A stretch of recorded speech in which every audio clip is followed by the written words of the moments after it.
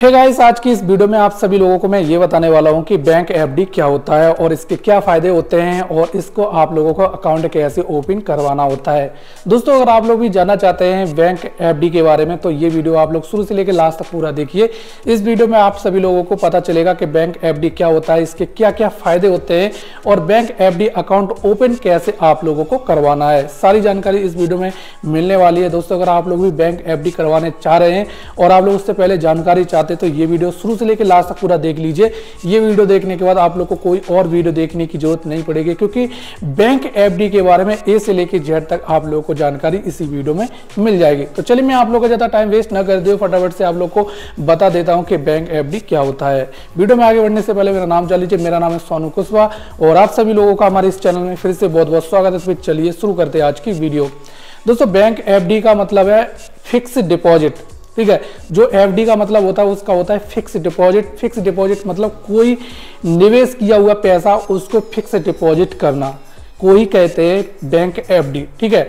तो ये क्या होता है कि कोई पैसा होता है और वो पैसा अगर आप लोग बैंक में रखते हैं या आप लोग घर पे रखते हैं तो उस पैसे को आप लोग बैंक में जमा करके उसकी एफडी करवा लेंगे तो उसकी एक समय तिथि सिलेक्ट किया जाता है कि इस तिथि में आप लोग को जो पैसा है वो मेच्योर होने के बाद उसको निकालना है, ठीक है? तो ये चीज़ होती है। तो अब मैं आप लोग को बताता हूँ इसके फ़ायदे क्या हैं। सबसे पहले फ़ायदा आपका ये है कि अगर आप लोग अपने बैंक एफडी करवा लेते हैं पचास हज़ार या एक लाख की तो उसमें क्या होता है, जितना इंटरेस्ट रेट सिलेक्ट किया गया है और जितना आपको बताया गया है छः परसेंट, सात परसेंट का एक साल के लिए तो वही रेट आप लोगों को मिलेगा एक साल बाद, चाहे मार्केट में उतार चढ़ाव हो या पैसे की वैल्यू कम ज़्यादा हो या कोई भी चीज़ की वैल्यू कम ज़्यादा हो, लेकिन आपको जो पैसा है, वो उसी रेट में मिलेगा। तो अभी क्या है कि बहुत सारे जो है कंपनी है, उसमें आप लोगों को सेल्स वगैरह होते हैं, खरीदने होते हैं और बहुत सारे बिटकॉइन वगैरह होते हैं करेंसी होते हैं कॉइन होते हैं, उनमें आप लोग पैसे को इन्वेस्ट करते हैं या बहुत सारे करते हैं। उसमें क्या होता है मार्केट का उतार चढ़ाव होता रहता है। तो उसमें जो पैसा है, कहीं कम मिलता है, कहीं ज़्यादा मिलता है। कभी कभी क्या होता है कि पैसे को लगा देते हैं तो लोगों को जो पैसा है, ज़्यादा मिल जाता है। और मार्केट जैसे ही बढ़ोतरी होती है, अगर उसमें मार्केट में घटोतरी होती है तो उसमें क्या है कि पैसा आपको कम मिलता है, ठीक है? तो इससे जो है लॉस हो जाता है। तो इसमें कोई गारंटी नहीं होती है मार्केट में कभी लॉस हो सकता है और कभी नहीं हो सकता है, कभी आपको प्रॉफिट भी हो सकता है। लेकिन इसमें क्या फ़ायदा है? आप लोग एफडी करवा लेते हैं पैसे की। तो उसमें आप लोग को जो भी आपको इंटरेस्ट बताया गया है, उसी इंटरेस्ट में आप लोग को रिफंड मिलेगा। उसमें कोई भी घटोतरी, बढ़ोतरी आपकी नहीं होगी। तो ये चीज़ फ़ायदा होता है। मार्केट चाहे गिरा, गिरे या बढ़े, उससे एफ़ को कोई भी फ़र्क नहीं पड़ता है। अब दोस्तों, यहाँ पे आप लोग जो है, बैंक में पैसे को जमा करते हैं। ये अगला फ़ायदा है। तो उसमें क्या है कि आप बैंक में जमा करते हैं एक लाख, दो लाख और आपको जो है लगभग दो साल, तीन साल की आपको ज़रूरत नहीं पड़ती है। तो आप लोग ये भी बोलेंगे कि बैंक मुझे डायरेक्टली जो है पैसा दे रही है। और इंटरेस्ट दे रही है दो परसेंट तीन परसेंट का। तो इसमें क्या है कि बैंक सिर्फ़ आपको दो से तीन परसेंट का ही देती है। डायरेक्टली आप लोग सेविंग अकाउंट को खोल के रखे, पैसे को आप लोग जमा करके रखे होंगे। लेकिन आप लोग उन्हीं पैसे को अगर आपको ज़रूरत नहीं होती है तो अगर आप एफडी करवा लेते हैं तो उसमें लगभग छः से सात परसेंट का आपको इंटरेस्ट मिलता है। तो ये लगभग दो से तीन गुना इंटरेस्ट हो जाता है तो ये एफ़ का फ़ायदा है। एफडी में आप लोगों को इंटरेस्ट रेट बहुत ही ज़्यादा मिल जाता है। जितने साल का आप लोग एफडी करवाएँगे उतना ज़्यादा आप लोग को इंटरेस्ट यहाँ पे मिल जाता है अब दोस्तों इसमें अगला फ़ायदा ये भी है कि अगर आप लोग यहाँ पे अपनी बैंक एफडी करवा लेते हैं तो इसको आप लोग कभी भी तोड़वा सकते हैं थोड़ा सा नुकसान ज़रूर होगा लेकिन आप लोग को उतना इंटरेस्ट रेट मिल जाएगा तो इससे आप लोग को ज़्यादा नुकसान नहीं होगा लेकिन आप लोग जब एफडी करवा लेंगे तो इस पैसे को आप लोग कभी भी निकाल सकते हैं ठीक है अब दोस्तों यहाँ पे आप लोग का जो फ़ायदा एक ये और होता है यहाँ पे आप लोग एफडी में अगर आप लोग पैसा इन्वेस्ट कर देते हैं तो यहाँ पे नब्बे तक आप लोग लोन ले सकते हैं। यहाँ पे लोन आप लोग को तुरंत मिल जाती है और कोई भी डॉक्यूमेंट और केवाईसी की ज़रूरत नहीं पड़ती है। क्योंकि आपने फिक्स डिपॉजिट करवा के रखा है तो कोई भी कंपनी आपको आराम से लोन देगी। और जिस बैंक में आपने एफडी करवाई है, वो बैंक आप लोग को तुरंत से जो है लोन प्रोवाइड कर देती है और कोई भी डॉक्यूमेंट और कोई भी केवाईसी आपसे नहीं मांगती है। तो ये चीज़ फ़ायदा होता है। अब चलिए मैं आप लोग को ये बताता हूँ कि आप लोगों को क्या करना है बैंक एफ़ अकाउंट ओपन करवाने के लिए। एफ़ अकाउंट है बैंक में लगभग दस से पंद्रह मिनट में ओपन हो जाता है। ठीक है?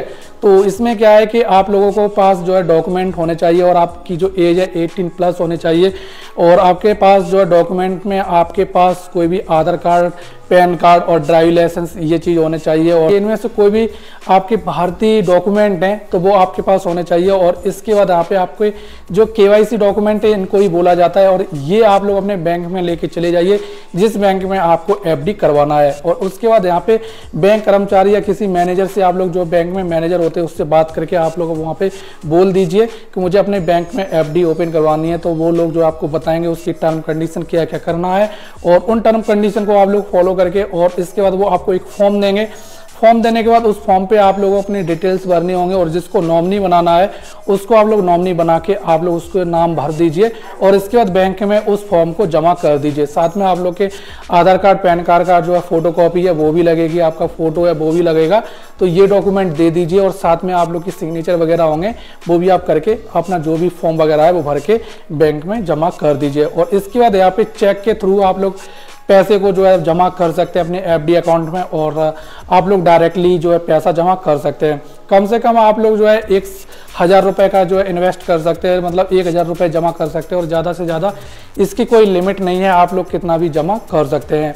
एफडी आप लोग जो है एक साल, दो साल, तीन साल, चार साल, पाँच साल, दस साल पंद्रह साल जितना आप लोगों को बनवाना है एफडी, उतना आप लोग आराम से बनवा सकते हो। यहाँ पे आप लोगों को जो अपना एफडी का इंटरेस्ट रेट है वो निकालना है कि आपके इस साल पे एक लाख रुपए जमा कर देते तो एक साल बाद आपको जो है कितना रिफंड मिलेगा विद आप लोग के ब्याज के और पैसे। तो यहाँ पे मैं आप लोग को बता देता हूँ, यहाँ पे हर बैंक का जो इंटरेस्ट रेट है, वो थोड़ा सा जो है कम ज़्यादा हो सकता है, लेकिन एसबीआई जो है अच्छे खासे इंटरेस्ट रेट दे देता है तो आप लोग का बैंक में एसबीआई में अकाउंट है तो आप लोग अपना एसबीआई में एफडी अकाउंट ओपन करवा सकते हैं। चलिए मैं आप लोग को बताता हूँ, एक लाख का जो है, एक साल बाद आपको इंटरेस्ट कितना मिलेगा। एक लाख मैं यहाँ पे लगाता हूँ और यहाँ पे मैं आप लोगों को बताता हूँ, इसमें मल्टीप्लाई करूँगा यहाँ पे और ये जो है लगभग 6.5 परसेंट का रिटर्न देता है हमें एसबीआई तो इसका जो ब्याज है, एक साल बाद आप लोग को छः हज़ार पाँच सौ का रुपये हो जाएगा। ये एक लाख रुपए आपको मिलेगा, साथ में आपका जो ब्याज है छः हज़ार पाँच सौ, यानी कि साढ़े छः हज़ार रुपये आपको मिलेगा। और ये एक लाख रुपए है जो इसको आप लोग और ज़्यादा जमा करेंगे, जैसे दो लाख, तीन लाख, चार लाख, पाँच लाख। तो उससे क्या है कि अगर आप लोग दो लाख जमा करेंगे तो ये जो आप लोग का लगभग तेरह हज़ार रुपये आप लोग को इंटरेस्ट एक साल बाद मिलेगा। अब ये जो है, आप लोग साल बढ़ा देंगे। आप लोग दो साल के लिए आप लोग एफडी करवाते, तीन साल के लिए करवाते, उतना ज़्यादा आप लोग को इंटरेस्ट मिलेगा। अब दोस्तों, यहाँ पे मैं आप लोग को ये बता देता हूँ इसमें आप लोग का नुकसान क्या होगा। एक साल के लिए एफडी करवाया है या दो साल के लिए एफडी करवाया है? मान के चलिए, आपने दो साल के लिए एफडी करवाया है और अचानक आप लोगों को पैसे की एकदम से ज़रूरत पड़ गई है तो आप लोग को एफडी को तोड़वाना है और पैसे को निकालना है। तो इसमें आप लोग को नुकसान थोड़ा सा होगा। इसमें क्या है कि आप लोग का जो तय हुआ है इंटरेस्ट रेट उतना इंटरेस्ट रेट आप लोग का जो मल्टीप्लाई हो जाएगा। जैसे आपने मान लीजिए, दो साल के लिए एफडी करवाया और आप एक साल बाद तुड़वा रहे हैं और आपने एक लाख जमा किया किया था। तो मैं आप लोग को बता देता हूँ, यहाँ पे आप लोग का 6.5 परसेंट के हिसाब से आपको जो ब्याज मिलेगा 6500 का। और इसमें आप लोग का एक परसेंट आप लोग का जो है माइनस हो जाएगा। क्योंकि ये जो आप लोग का लॉस है, एक परसेंट का लॉस है। कोई कोई बैंक जो है सिर्फ़ ज़ीरो पॉइंट फिफ्टीन परसेंट का लॉस देती है, लेकिन यहाँ पे आप लोग को जो है कोई कोई बैंक जो है एक परसेंट का लॉस देती है। छः से पाँच परसेंट का जो आप लोग को मिल रहा है तो इसमें आप लोग का फ़ायदा ही है, लेकिन थोड़ा सा नुकसान होता है। आप लोग समय सीमा से पहले आप लोग अपना जो एफ़ तोड़वा लेते हैं। तो गाइज़ ये जानकारी एफडी के बारे में तो आयोग आप लोग को पता चल चुका होगा कि बैंक एफडी क्या होता है और इसके क्या फ़ायदे और नुकसान होते हैं और इसका जो अकाउंट होता है, वो कैसे ओपन करवाना होता है। आयोग आप लोग को जानकारी मिल चुकी होगी। जानकारी पसंद है वीडियो को कीजिए लाइक और शेयर और ऐसी और वीडियो को देखने के लिए कर लीजिए चैनल को सब्सक्राइब क्योंकि मैं अपने इस चैनल पर इसी तरह की वीडियो अपलोड करता रहता हूँ। खैर गाइज़ अभी फ़िलहाल के लिए बस इतना ही। मैं मिलता हूँ आप लोग को नेक्स्ट वीडियो में। तब तक अपना ख्याल रखना। Take care bye